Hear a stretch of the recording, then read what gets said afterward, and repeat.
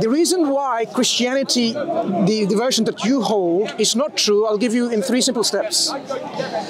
God necessarily is self sufficient and independent. That's premise one. Jesus necessarily is not self sufficient and independent. My conclusion from premise one and two Jesus is not God. But does the does the Bible ever say that Jesus is all of God? Now, I'm telling you, Jesus is not God. So, do you accept that? that Jesus is not God? No, I don't. So, now tell me, what is invalid in my premises, in my argument? Do you disagree that God is necessarily self sufficient and independent? But hang on, you're trying to use these terms like what is self-sufficient and independent? You're using If you don't stuff- know, ask me, I'll tell you. You're using stuff about God. Are you saying you don't know what self sufficient means? Are you saying you don't know what independent means? You're, you're trying to apply these things. You're, you're no. trying to apply these things. If you don't know the meanings of these to put God- terms- you're trying to put God in a box. Uh, I'm not. No, I'm actually we're trying trying to to put open- God as He is. Trying so to let's open up the box So that let you're me putting let me in. let me explain. Do you accept God is not dependent Yeah. on anything or Yes. anyone? Yes. Right? Yes. That means He's independent. Yes. Do you also accept that God is self-sufficient? He doesn't need anyone to be for Him to be brought into existence. Yes.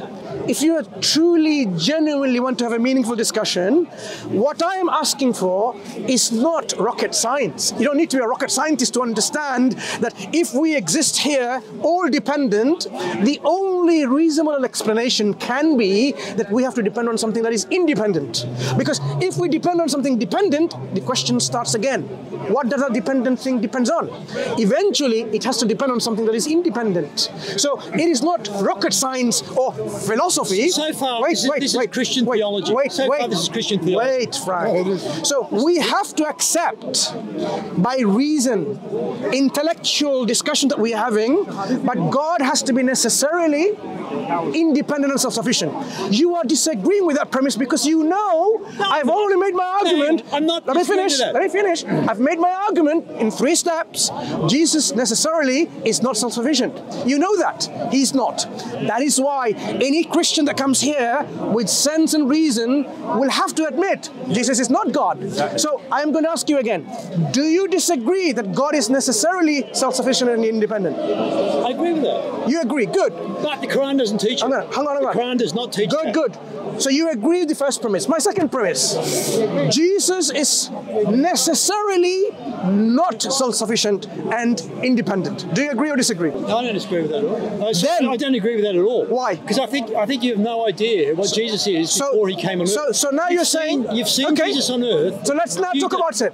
So know- Jesus, before the earth was created, he is independent and self-sufficient. That means he doesn't need the Father or the Son even to be in existence for Jesus to be there. He's part of the one existence. hear me out. Jesus, if he's if he's ever going to be labeled as independent and self-sufficient, it follows that he doesn't need even the existence of the Father or the Holy Spirit for his own existence. Is that right? No, because then you're teaching polytheism. Hang on.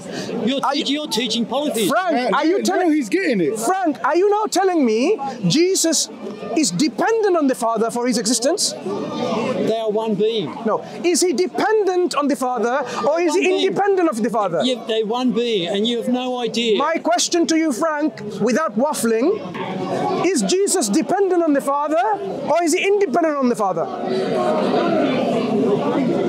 Jesus is the man on earth. You cannot. Is he dependent on the Father or is he independent on the Father before he created the whole universe, according to you? So I am not going to restrict Jesus as a man, Jesus as the Logos, which existed, according to you, before the foundation of this world. So at that point, is Jesus dependent on the Father or is he independent? There is no way out, Frank. You say he's dependent or you say he's independent. Well, I can say he's not independent. So he's They're one dependent. being- They're one being. So, because he's not independent, so my premise is true. Yeah. Then he, he's not God.